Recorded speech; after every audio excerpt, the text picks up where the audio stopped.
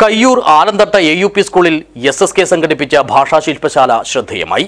നാടകത്തിന്റെ ആശയാവിഷ്കാരവും അവതരണവും കോർത്തിണക്കിയാണ് പുതുമയാർന്ന പരിപാടി നടത്തിയത്. ദിസ് ന്യൂസ് സ്പോൺസർഡ് ബൈ സേവനം സഹകരണം നാടിന്റെ നന്മയ്ക്കായി. കോട്ടച്ചേരി സർവീസ് സഹകരണ ബാങ്ക് കാഞ്ഞങ്ങാടിന്റെ ജനകീയ സഹകരണ സ്ഥാപനം.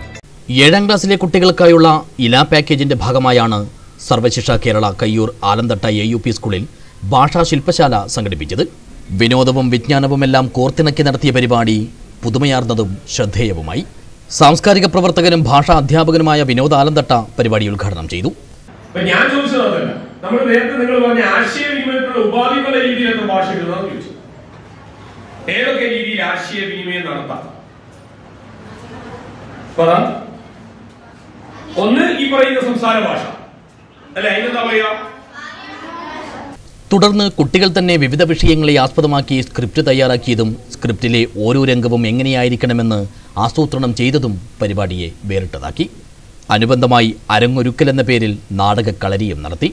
നാടക പ്രവർത്തകനും സംവിധായകനുമായ വിജേഷ് കാരി കളരിക്ക് നേതൃത്വം നൽകി. നാടകരംഗങ്ങൾക്ക് കുട്ടികൾ തന്നെ ജീവനം നൽകി.